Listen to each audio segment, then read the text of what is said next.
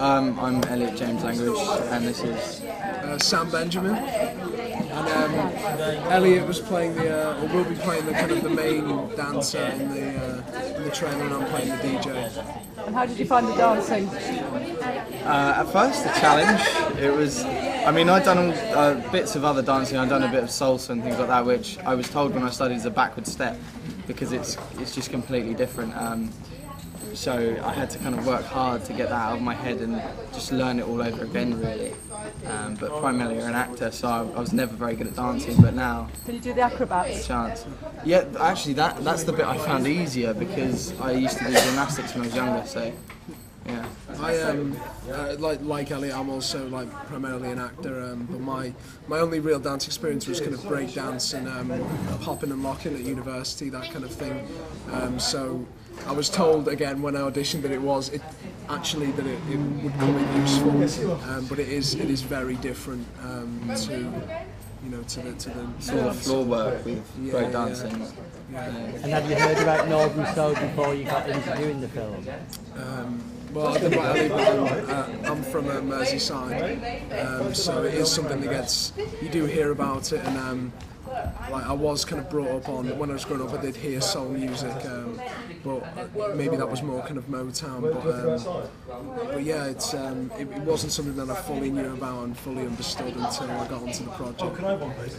Yeah, coming from the south, I didn't really have any idea um, about the whole background, but I've obviously learned from Alan and having lessons with Keb, he's drummed every like detail into me, so I know quite a lot about it now, and I'm, I'm enjoying the music.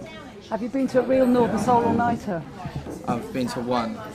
And, did you think of uh, fairly recently. I, I'm glad I didn't go when I hadn't had much experience because even having had like six months of dance lessons, I still managed to fall over and make a fool of myself. So I'm glad I went with a bit of experience because everyone's really good. Everybody's gonna crash, otherwise you crash into other people. Yeah, well. well, exactly. What do you think of the style of clothes that they used to wear? Um, I, I'm, I'm really getting into it now. Actually, it has to be said. I'd, I'd be very uh, be interested to see what kind of reaction we get going out uh, with this. Well, I think a lot of these things, like this shirt, I think Where's your it's, shirt it's Brutus. Brutus, I think. And I mean, I, I, could, I would wear this today. I think there's not much in it. The only difference with the clothes, I think the trousers are way, way out there in Goes comparison This, this, shirts. is, this, this is smart. This is smart. Yeah. There's lots of. Um, I mean, there's lot, it's a weird blend of styles as well, like you see in the in the uh, in the kind of the combinations that they wore. But um, it's a lot more. Do you, do you think it's a lot more like I, I find it a lot more adventurous and like colourful and, and a Yeah, lot more just a, a lot more. I don't know, more interesting and a bit More variety. Yeah, yeah. Than today, people will play a lot more conservative now, especially when they go out. Like people don't. You know, just think, yeah, I'm going to dress up, and you know, especially for the men. Like, I think with like the trousers and with the shirts, with everything, people seem to kind of customize. I was talking to like Keb and people that are actually there back in the day, and they used to add like parts to the trousers and make it more like they make them wider and like add to them in some way.